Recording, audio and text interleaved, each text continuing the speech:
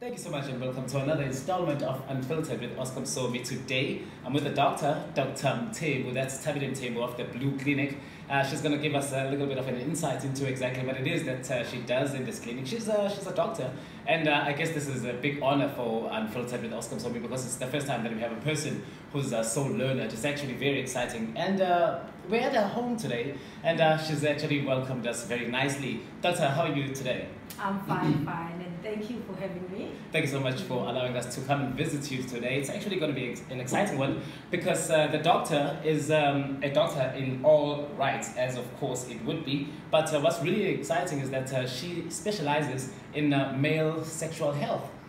That's what you do, right? Yes, that's my interest. All right. Now, what we're going to do with uh, the Unfiltered today, because uh, what we usually do is actually showcase what people do in their businesses. And in this case, the Blue Clinic is your baby, and that's what you started. But before we even get to the operations and what the Blue Clinic does, what I want us to go back to is um, the person that you are. Like, Uthabile, who is Uthabile in your own words? Uthabile is a mother, Uthabile is a doctor, Uthabile is a family oriented person, Uthabile Right. is a Christian. Mm-hmm. Uthabile has special interest in male sexual health. Right. I spent most of my career, I think the past 10 years, if Yeah. I'm correct, doing urology. So Right. I worked in a urology department. Mhm.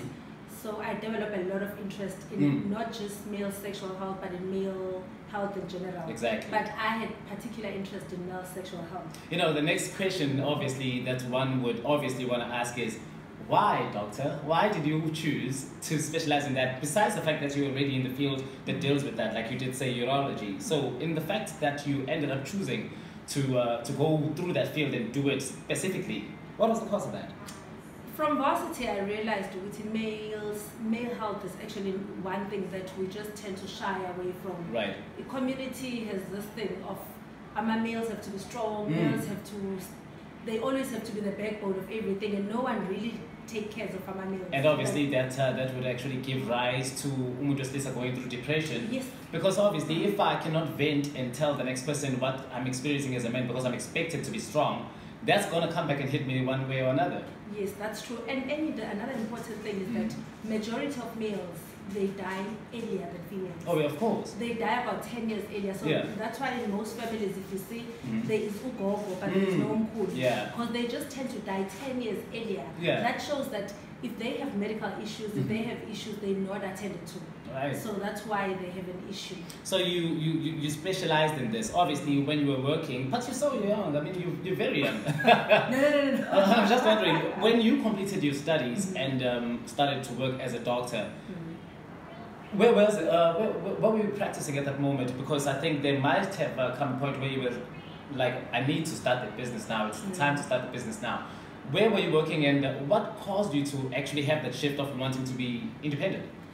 I actually started working, I started internship in, I started in Joburg, Mm. not in Joburg, in the East Rand in Gauteng. Right? In the East Rand in Gauteng in 2007. Mhm. then came back to KZN two years later. Yeah. Then I've moved around quite a bit in KZN, but I've always been in a urology department. Lovely. I've moved from Durban to Maritzburg to Ladysmith Mhm. and eventually came back to this side. Okay. I think you get to a point where you realize that you've actually given the system everything you can give. Exactly. It's about time that you You become exhausted. you become exhausted Mm. and you don't offer good quality service because you're at a point where you're a bit exhausted. Yeah, and So of course you might be limited as well, I'm assuming, because when you're working for a department, there's only so much that you can do. and males and sexual health unfortunately Yeah. doesn't you know the state doesn't offer much Yeah, it goes right at the back. It's something that you have to take care on your own if you Yes. haven't So you- Meanwhile, it's a very big problem. Mm, you end up just writing out scripts for patients to buy things But it, does, it doesn't. It's not personalized. It doesn't really help them. true That's how uh, the Blue Clinic uh, was born, obviously, right? that's how i ended up opening up the blue clinic Right. So the Blue Clinic, what is it uh, that you guys specialize in? Because I know Uguti, as much as the word says it, the Blue Clinic, and of course you do mention that it's a men's health clinic. Mm. Um, there are things that would obviously bother a man and push a man to a point where they have to come and consult. I'm just thinking of a few high blood pressure, um, maybe you have a low libido or something like that. Mm. What are the main things that usually send people to you? I think what most um, the Blue Clinic has actually been branded as, uh, branded as the sexual clinic. That's correct. So we get a lot of patients that Mm. come that come into us with sexual issues. right. So that's that's what I enjoy the most. Mhm. That's what I have passion for. Yeah. So I enjoy that. But we do actually treat males holistically. Right.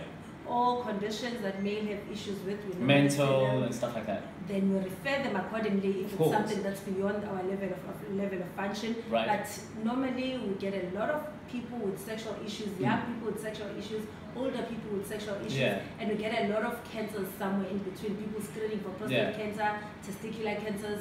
We've actually in the past three months that we've been operating, Yeah. we've actually diagnosed quite a number of cancers. We get Mm. random people coming in for check-ins, what's known as a check check up, Yeah. and we end up picking up. Now let me tell you, there's there's one that I'm very scared of, and I know Guti. every man would probably be, Mhm. well, every man who, who let me just leave that out. But in any event, the prostate cancer. yes. That's the stuff where you have to insert at the back. That's that's stuff that you do. Yeah. You you work with uh, you work with that kind of stuff, right? Yes. That's where you pick up uh, most of the cancers. Mm, mm. And I know Uti, that kind of cancer is uh, very very problematic. For for a while, it was believed to be a cancer that was associated with Amatamakulile of uh, who have come of age. But that has changed all of a sudden. Even Amatabangan knew that his 40s can get it. Yes, the prostate cancer is still the disease of the older people, Yeah. but the younger people may get it. Yeah. And unfortunately and sadly, when it presents earlier on in life, it Mm. becomes a very aggressive disease and they Wow. tend to die from it. Wow. But if it betulagala at a later age, It's expected it would Yes, back on it. Yeah. it progresses so slow that it's Mm. normally not a big deal. But it's still something to look out for at all times. More especially if you have family history of prostate cancer, Yeah. you need to have it checked. Yeah, no, I definitely think that uh, is one thing that uh, a person would love to have checked out. But um, obviously, that being just one thing, a cancer is something that you might even receive from um, maybe a family because maybe someone had it, like you did mention. But what I would also be worried about is uh, the kinds of foods. What are the things that a person should look out for, which are um, right at the top of the list? Ectenin mhlawumbe you should maybe try and keep away from because they are one of those things that can lower your, your, your sexual drive. Oh, sexual drive. Mm-hmm. Yeah, sexual drive is a matter of just being healthy, being at your healthiest. Mm-hmm. The normal food that we know that we should avoid just to be healthy. We should avoid fatty food, Yeah. less sugar, because all those foods actually causes diseases Mhm. that result in sexual dysfunction. Because Yeah. sexual dysfunction most of the time, yes, it can be an issue on its own, Yeah. but it's just a marker that your vascular system is an issue. Maybe Mm. your heart, It's, hypertension. it becomes a result of that. Yes, it just shows you what's happening on your, on your body. So when Mm. someone presents with an erectile dysfunction, Yeah. it's very important to look at the person as a whole because most of the time there's another underlying issue. That's where that's what you need to try and find out issue. because that's what we need to pick up where the problem is and sort that problem Yeah. and eventually come back to the erectile dysfunction Yeah. and treat that. lovely. And um, I I'm, I'm I'm pretty sure Uguti, with that having been understood, there's still a problem with people who have erectile dysfunction. And uh, that on its own might be an even bigger problem because it doesn't just end with you having that as your own problem in a marriage situation, in, a, in, in, in any relationship for that matter. If a person would have that, would, would at least experience that maybe because of the foods that they eat or stress or whatever it is that could cause it, why is it always hard for men to say it to the next person or how do they come to you how do they present it to you go say hey i cannot function anymore i can't get it up how do you deal with that Number, no, the first point is that the shocking thing that I've actually seen in the past few years, Yeah. more especially the past few months within the, in the Blue Clinic, yeah is that people who present are actually people who've been sick for years. oh shit It's a matter of they've been sitting on, on it for years. Mhm. Then eventually someone said something somewhere, Yeah. they saw some link on social media that something can be tap done. on that and then follow Then eventually find out that there's something that can be done about it. Yeah. It is such a sad thing that it's it's males are actually meant to feel that the manhood is around sexuality. exactly So if you have an issue with sexuality, people your, your just morale just fine. drops as well because you, you feel like i'm not man enough Yes, they just pretend Futhi, that everything is fine, so that Mm. people will actually treat them decently. They, would that i'm just assuming would that actually be another cause for um, failed relationships and failed marriages where a person would have that kind of a problem and then ati because i'm experiencing this maybe let me go and get a girl eh, eh, eh, who's different outside and now they're cheating and that would obviously cause other problems where it would lead uh, to um, STIs and stuff like that. That's the thing. Most of the time, when there's an issue sexually with a male, Mm. they just tend to think there's something wrong with the partner, so they try and find jumps. another. Pa- then they realize later, because yes, there Mhm. are sexual issues Yeah. that come just with the partner. If it's associated with stress, there were Yeah. issues, there was cheating, there was whatever that happened. You might have erectile dysfunction that's just specific to one person. Of course. When you move to the other person, it's fine. Mm. So that's the first part people start with Yeah. before actually trying to sort out the issue. Mm. They will try find another partner, then they realize that eh, Can I've you been to imagine? three partners. No. And how worse is that now? Because I'm assuming as well for a person who because I want us to get into izinto efana condoms and, and contraceptives and stuff like that. But for a person who's been in a relationship for a long enough time, maybe with one partner, they were comfortable enough to a point where they get to because it's true. As much as we don't want to admit it, it is very true that when we're in relationships, there comes a point where we think we trust another, uh, each other that that much that I don't zone. have to use the condom anymore. That's a danger zone. Even Yeah. if even if we trust each other, even if we're honest with each other. Yeah. I think my biggest point here is you're gonna take that because my just think the stress of maybe my wife and I are not okay, Mhm. and then I get a side chick. I still wanna have sex with her without having a, uh, using a condom. How is that now? And uh, is that how some uh, STIs are come, uh, come about? And unfortunately, my STIs, it's always a matter of trusting this one person Yeah. while that person is not loyal. Mm. You trust this person and this person is not loyal. Yeah. So that's how my STIs, unfortunately, it gets spread from uh, different people. There's that loyalty issue. I think I always to emphasize this. Yeah. The safest method of not getting infections, HIV, mm-hmm. AIDS, is abstaining. Exactly. The moment you don't abstain, Yeah. you are at a risk. Of course, you're already testing Right, the waters. Yeah.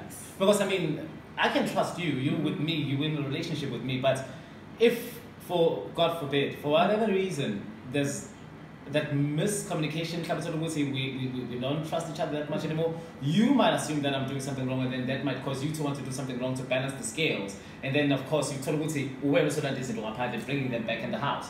Um, I understand Uguti, Blue Clinic will obviously help you with all of these things. If a person came to you and told you, Uguti, I love my wife. I love having sex with her, but I've noticed Uguti, um, every single time I try and engage in sex with her, I sort of lose interest while I'm in the act, while I'm actually doing it, and I really do love my wife. In the experiences that you've had, the kind of people that have come through to your door, how do they usually present that, and how do you help them? Yeah, and first thing is that I want us to work away from the idea that if you have an erectile issue, Yeah. it's a matter of attraction. Yeah. It has nothing to do with that. Mhm. It's a matter of like you have hypertension, you have diabetes, you just It's a condition. You just have a disease, and Mhm. unfortunately, it's sexual. So that's the one thing that I've been trying to stress. Last month we had like a small campaign Yeah. of taking away the stigma in sexual dysfunction. But Yeah. the biggest problem is it's People how don't we want to look at talk. And, Yeah. and how we look at them, we view them as there's something wrong with Mm. the partner. There's something. People will go as far as losing weight, Yeah. they start gym. Mm. They'll put pressure on themselves because they think there's So that they can wrong. compensate. But yeah. no, it's not about that. Sexual dysfunctions, Mhm. like all other diseases, Yeah. are just diseases. Of course. So It's just a disease. it's just and it can be worked on. It can be it can be treated. something can be done. Majority of patients, something can be done. There's Yeah. like a small percent where we like in any like in any kind of condition. Yes. Yeah, and um, quite about with that. Um, I don't know. Maybe you can bring me to light on this. There are people who are genuinely against using a condom, and they will actually tell you, "Uti, iyangigulisa le nto, vele ngibe namakhulu, man. Hey, you know, uh, uh, how can you eat a sweet that, that is in a wrapper? Yeah. Your advice for these people, because I know they, they actually know what they play with Mhm. fire, but your advice, because I know Uti, you you play with fire. Sexually transmitted disease. Unlike in, in the olden days when our parents, when a sexually transmitted disease mean, meant getting an injection. Yeah. Right now, there's HIV. Mm. There's a lot of hectic sexually transmitted. That can kill you. Yes. Yeah. And there's something that most people are not aware of. Mhm. Like it would- there is the cancer of the penis, Oh, and yeah. it's also caused by se- ukuthi ungayiphathi kahle sexually. When you then- collect, Yes, when obviously, you collect multiple partners, yeah. Yes. So that's the thing. Most people will have sexually transmitted disease. Yeah. Some will actually even have cancer. Hmm. So playing around with having sex without a condom. many partners, and even if even with one partner. Yeah, even if we we always say that if you slept, like if you have like your first sexual encounters with- Yeah. with this one person, Yeah. that person has slept with five people. Of course. You have slept with five people. Because you always carry whatever it You is. that carry whatever they've been exposed to, so you've slept with everyone. Mm. So it's not a matter of just trusting this one person and jumping to bed without protection. It is dangerous. one of the one of those uh, things that would also be problematic is um, testosterone. Mm. I know, Wuti, um, you get guys that go to gym and pump on that. Um, that is supposed to give us an extra oomph. Does it? Testosterone in moderation, if it's on the higher side of normal, Yeah, it makes you a man. yeah. Basically, it gives you the voice, it gives you Mhm. the muscular structure, it puts fat in the right yeah, place, yeah, sexually, it puts you in the right place. of course. But the abuse of testosterone, which is Like with like with any other thing. abuse of testosterone is dangerous. Yeah. The fit guys in Master Jimini, most of them have sexual They look nice. Yeah. They look nice, but it doesn't work. most of them, it doesn't work. So so so you sacrifice. they sacrifice for the look. And, the, and the sad thing is that it doesn't only cause sexual issues. Yeah. There's a lot of other serious medical issues that come with It that. would be. But it will give you sexual issues as well. So is that body worth that much? I'm not saying everyone with Yeah. a nice body Mhm. uses a steroids or testosterone. Some Yeah. people work hard for their bodies. Big ups to them. And we appreciate that, yeah. Yes. But the ones who play around with hormones and steroids, They know that they're asking for trouble. It's dangerous. Do you get at a certain point, like a woman? Mm. I'm sorry that I'm jumping all Mm. over here. I usually do that. I, I, I, I remember questions as I Uh, flow. Mm. Um, a woman Mm. at a certain point would go through what is called menopause. Men, it has been believed that they don't have this sickness, or if you want to call it a sickness or condition, Mhm. but it has been believed that Utumu Lisa doesn't usually or is not as much exposed to it. You being in this field, you being in this field, how would you explain? Does a man get to have menopause or go through that? We don't use the dramatic term with males that says menopause because menopause basically means you know when you're going through it. Because Yeah. you have those hot flashes, or whatever happens, then the next minute it, it's gone, no Yeah. period, you know you- you've menopause. Yeah. With males on the other, other side, at a certain age, then their testosterone level starts going down slowly. Yeah. Biggest contribution is the lifestyle. So whatever you Mm. paid when you were younger It, it catches up with get you out of here. Isn't that sad? Yes. So people that are nice and healthy, do your keto right when Yeah. they're younger, they most likely will not reach menop- male menopause. So it, it, there, there are benefits in taking, obviously there would be, in taking care of yourself while you're growing because When you're growing up, everything. when you do things right when you're younger, you most likely won't go through andropause. I need to start going to the gym. I need to start going to the gym. It, it works like that, eh? Yes, you need to gym, you need to eat healthy, Yeah. you need to cut down on sugar, Mhm. you just need to have a healthy lifestyle, less alcohol, no smoking. Yeah, yeah. Then that will actually mean a better life later. It does. It does mean, and, and obviously it would because all of those things are terrible. Mm. That you you've mentioned it twice. You've mentioned salt, uh, sugar twice. Mm. I want to find out though because it has also been said Utu Sawoti is a, is a is an evil thing for a man, and uh, you'll get to your 39s, 40s, and you'll already start feeling the, the, the Mm. that you were doing something wrong. Yes. How does it play a role, uh, No. Sawoti? Salt is as bad as sugar. Yeah. Sugar will cause diabetes, Mhm. salt will cause hypertension and cardiac diseases. Yeah. So obviously the diabetes that it plays with the vascular system. And you need your blood to flow. when then it makes amalona, it, it, it makes some blood vessels are probably a bit That's hard. salt. Yes, so both salt Yeah, and yeah, sugar. yeah. Then engabi compliant to ukuthi avuleke and avaleke. That's when you have uh, those that- that's hypertension and um, hot flashes. That's when you could you And can't really function. control New Zealand. Yes, then you have a problem with the erection because erection also needs the magic. Yeah, of course. Yes. And uh, it totally depends on what the blood is sending. If the Yes. blood is sending but it's not getting to the destination, and then people, and then a person will walk out of bed and say, you, you, "You're not woman enough anymore. I can't even get it up." Ah, Akwadlo Guti, yes. Akwadlo Guti. What were you busy with? You know, all of these times. It's your issues, not the other person's issues. Yeah. So in uh, in all of these things that you cover in uh, the Blue Clinic, Mhm. what would be one of those uh, services that you say are most prominent that you've noticed that was about you usually come in for? I've actually noticed ukuthi initially erectile dysfunction, I, I had special interest in sexual functioning, That's right. mostly erectile dysfunction. Yeah. And it was mostly for like my own kulu, because that's what we saw most of the time in state. Mhm. We're getting a lot of old men with erectile problems, Mhm. most likely due to andro- andropause, which is menopause. Yeah. But what I've seen right now with the shift to to the private sector, I've Mhm. realized that I'm getting patients as young as 18. Can you imagine? As young as 18, it's either, but there's a lot of abuse of Yeah. testosterone. People abuse testosterone. It always comes back to that as well. Most people abuse testosterone, but with other people, it's genuinely a problem. They Something just- that maybe they they inherited have it, yeah. They don't have enough testosterone, or they just genetic, not genetically, due to certain issues, Mhm. they have a very high level of testosterone, and it's Mm. giving them issues. Other things that a person can do to um, improve their sexual health um, as a man, maybe just besides going to the gym, which is obviously one of those things that any person has to do. But are there certain things that you would say it's a definite that you have to do them? Maybe some kind of foods, maybe some kind of exercises. Because when I went through your page, Whoa, hey, wait a second. When I went through your page, I saw there was um, a picture with a man. Mm. He was standing in a, in a position with his legs open, and it looks like he had some dumbbells, and they were tied with a string. And I have no idea where this. I have no idea where the string was going, but it was obviously hanging onto something. I want to find out from you which are these things that you would say they're very important. Mm. You have to eat this food. You have to do this exercise. It would help you if you do this. And what are the things that a person has to maybe also avoid? We like all other diseases we need to avoid things that will cause vascular uh, problems That's right.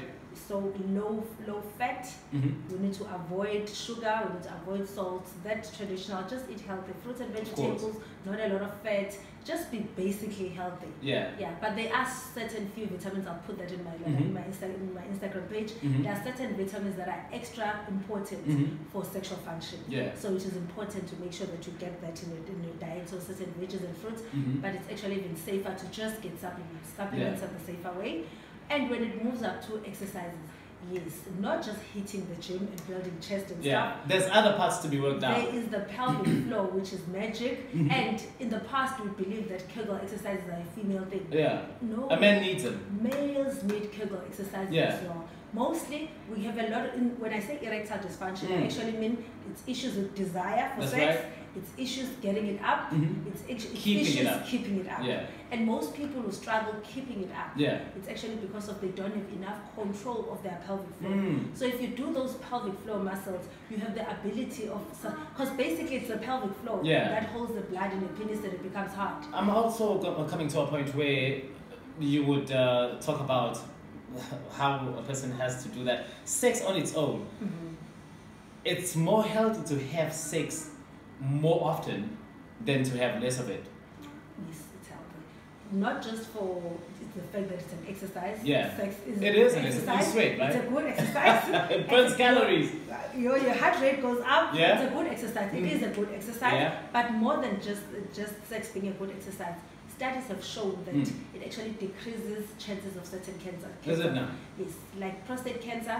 Apparently, people that um, that are more sexually active Mhm. tend to have a lower risk of getting Oh, is it now? cancer. So, sex if done correctly and safely Mm. is a very safe. Beautiful stuff, man. So this is what the Blue Clinic does, and this is what you guys specialize in. The the, the reason that uh, you would have come to a point in saying, "I want to open the Blue Clinic. I want to start a clinic." What would be the cause of that? It was a matter of just males not getting enough attention, Yeah. medical help, and actually males knowing they have issues, coming to us in hospital, Mhm. and we have nothing to offer them. Yeah. That has been an issue for the longest time. That they come in, we just write something and give them to go on to, to go, and most Yeah. of the time they won't even follow it up. It's a matter of them knowing that they can go to this one place, because I know they get embarrassed. Yeah. That I've, I've realized. Yeah. Let them just get embarrassed this with this one person, Yeah. deal with the embarrassment here, and Get it over and done with. get it over and done. It don't, you don't have to go here like in. You don't have to go through, through Sessions and sessions and sessions. So it's a one it's a one stop shop Yes. where you get everything and it's holistic in that way. And you know that everyone else who's there has Mm. the same issues. Oh, so you can't bit of judge, yeah. Because I know, Yes. Uti, in your traditional clinic or hospital where you would go, she Mm. wants to say something. That's here. Okay, judge it. I know, Sorry. Uti. not, not a problem at all. I guess that's uh, the pleasures of uh, doing an interview at home because the angel is here. Go judge it. So, Sorry, sorry. not, not a problem at all. No, it, this is actually going to be special.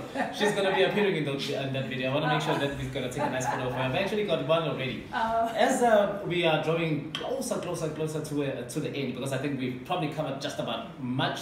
Um, there's one other thing that uh, also came across when I was going through your, your, your information and doing the research. mm.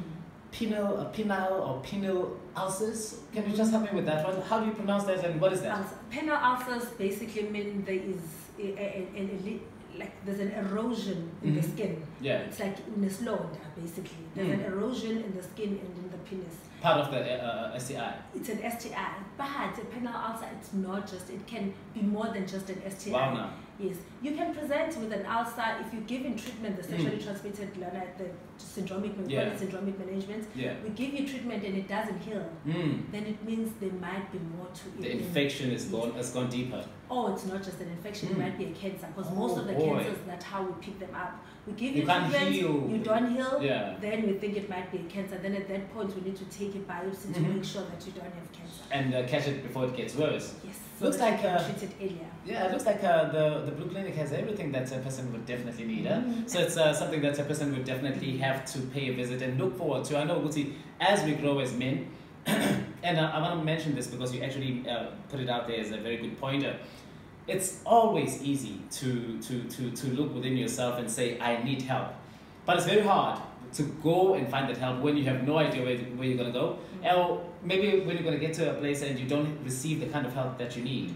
This is also countered by the Blue Clinic because when you get there, you get the whole spectrum of everything that has to do with male sexual health and just sex as a, as a, as a subject on its own.